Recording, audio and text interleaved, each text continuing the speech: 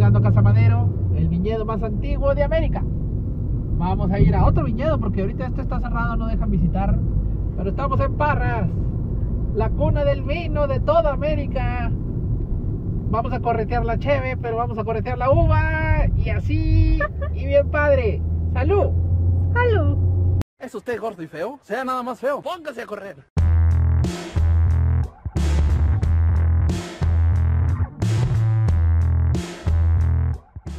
El favor suscribirse. Hay videos nuevos cada semana, cómicos, mágicos, musicales y uno que otro deportivo. También de Rooney. Aquí estamos en Los Viñedos, Rivero González. Una, un capítulo más de la serie de Los Viñedos de Coahuila. Vamos a recorrer el viñedo, a probar el vinito y hacer una cata y, todo así. Aquí andamos correteando la uva. ¡Yeah!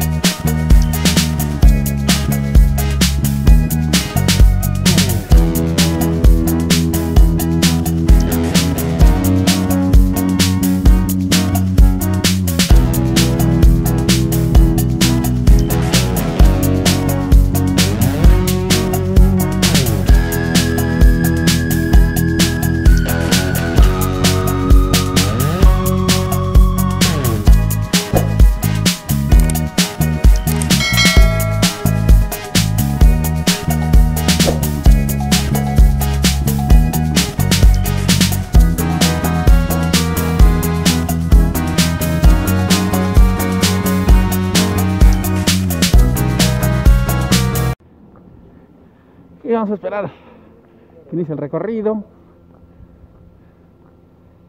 La tiendita, padre.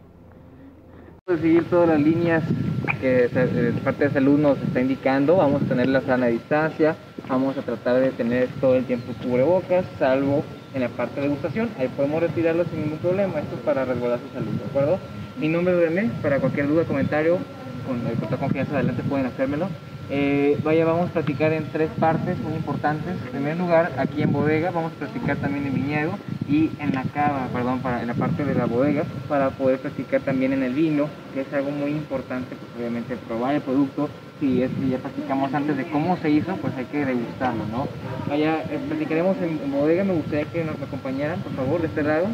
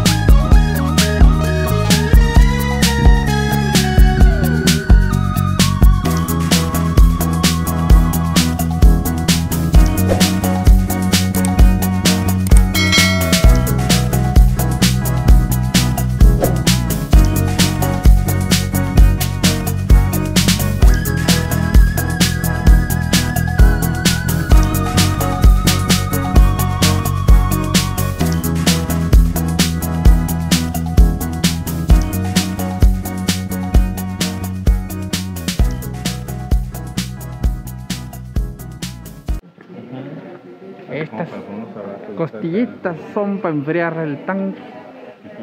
Que la fermentación sube la temperatura, pero si sube de más, pelas, dos pelas. Entonces esas son ahí el, el así, como el radiador.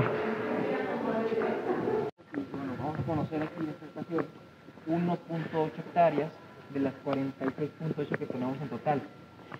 Comentaba, iniciamos hace, hace 22 años, en el año 98 se plantó todo esto, con esta pequeña parte de tres tipos de uvas. Tenemos Merlot, acá de este lado, tenemos Cabernet Franc y también tenemos Cabernet Sauvignon. Vaya, son las más viejas que tenemos. El grosor lo dice todo, desde aquí lo podemos ver, es bastante grueso estas plantas. Y en el caso de las demás hectáreas, pues tenemos otros tipos de uvas. Por ejemplo, uvas tintas, no solamente tenemos estas, les a recordar, Merlot, Cabernet Franc y Cabernet Sauvignon. También tenemos Syrah, tenemos Malbec y tenemos Petit Verdot. Uvas blancas tenemos Chardonnay, Chenin Blanc, Riesling, Palomino y Moscatel. Pero están en otros dos predios, ¿no? Atrás de construcción hay otras 20 hectáreas. Y enfrente de la construcción, atrás de Parras, hay otras 25 más. Entonces, vamos acá abajo, por favor, porque ya los llevan mucho para acá. Vamos a conocer las plantas y a platicar un poquito de lo que el resto que podemos ver aquí, ¿no? Esas son un poquito más como que definidas, más a- a- como serruchadas. Estas hojitas son diferentes porque es otra planta. Es una vid, la uva, ¿no? Es la misma que está fuera de la tienda, ¿no? Se dieron cuenta que había un enramado por ahí colgando. Es una planta americana. Esta crece naturalmente aquí en América, lo que es México, Estados Unidos, parte de Canadá. Y te puede dar, no una buena calidad de uva para vino, pero sí te puede dar una muy buena resistencia en el caso, por ejemplo, de las plagas e insectos que puedan atacarla. Aquí en América hay un insecto que se llama filoxera. Bueno, hay quien lo pronuncia filóxera. No lo sé. Filoxera, filoxera, es, lo mismo. Vamos a nombrarlo como lo mismo. Es un insecto que ataca las raíces y se come la vid. Pero aquí en América, esas plantas que han crecido pues toda su evolución con ellas, no les hace daño para nada. Más sin embargo, esta que es un Cabernet Franc, sí le hace daño. Porque viene pues, literalmente de, de- Francia, por eso es Cabernet Franc, Franc de Francia, y podemos eh, tener un poquito más de sensibilidad en esto, porque no conocemos esa plaga. Si la plantamos así directamente, la come y la va a matar en dos. Entonces, plantamos en primer lugar una americana, como ya hablamos de febrero más o menos, vamos a cortar para inyectar la varietal que queremos. Estamos sobre un Cabernet Franc y va a ser un Cabernet Franc. Una varietal europea, ya para que sea más resistente a, a estos insectos y eh, también a las deficiencias que puede haber en la tierra, porque hablamos del desierto, semi desierto. Aquí realmente la tierra no es tan tan fértil tal cual. Entonces, eh, es principalmente como así nos vamos a, a dividir.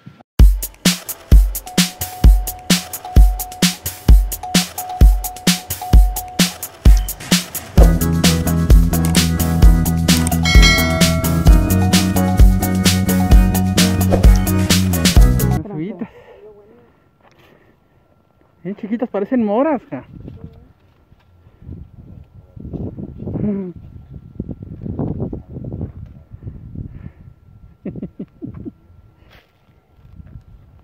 Sigue, sigue, sigue. Nos dejaron probar las uvas.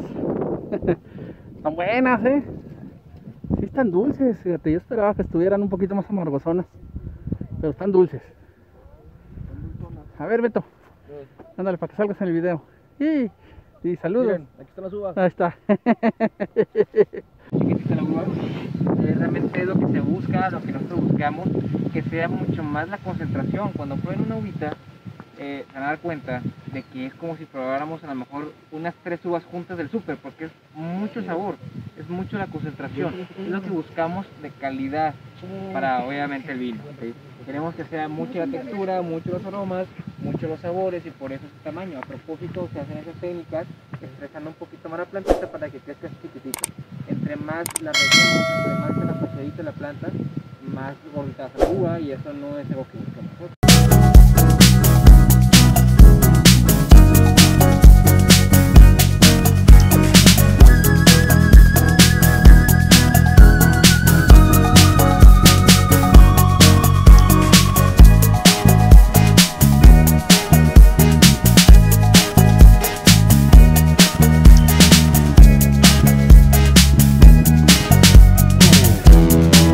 Regalaron la copa. ¿Ah? Venimos por una copa. Venimos por una copa. Muy bien, ¿no? Estuvo para ¿Qué, ¿Qué le pareció, joven? Estuvo muy padre el recorrido. Ya para que se culturice, cabrón. Puro, puro, pura cheve y puro este, tonallá, como que no deja nada bueno. Tonaya no es lo más bueno. Mira, Ese tiene las 3B. Bueno, bonito y Y barato. barato. ok, bueno, está bueno. Ah, ya está lloviendo. Los viñedos Riviero González, parte de la ruta Vinos y Dinos. Y de aquí de la serie Viñedos de Coahuila, ya nos agarró la lluvia. Vamos a correr porque nos vamos a mojar. Estamos correteando la cheve. ¡Ánimo! Píquenle al. Suscríbanse, denle like. Y así. ¡Ah! Correr tiene muchos beneficios. Quita la angustia, extingue la culpa, hace olvidar, suelta la lengua, te aleja de la oficina, arregla corazones, causa rumores, afina la voz, levanta el ánimo y además infla el tino. Así estamos hablando de lo mismo.